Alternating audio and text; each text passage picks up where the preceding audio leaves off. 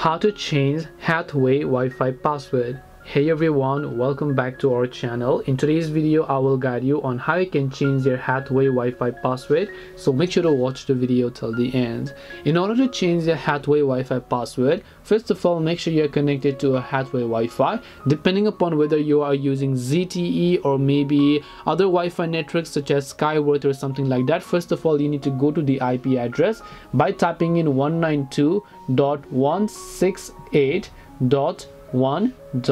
1.1 you can actually go to this command which could be your ip address and then just tap the go button. Now you need to log into your admin account which is the username and password. You may also need to enter the validate code. After that select the option called network. Then just click on the wlan settings select security and then enter a new password in the wpa password section. And once done you'll be able to change your wi-fi password in that way this way you'll be able to change your Hathway Wi-Fi password.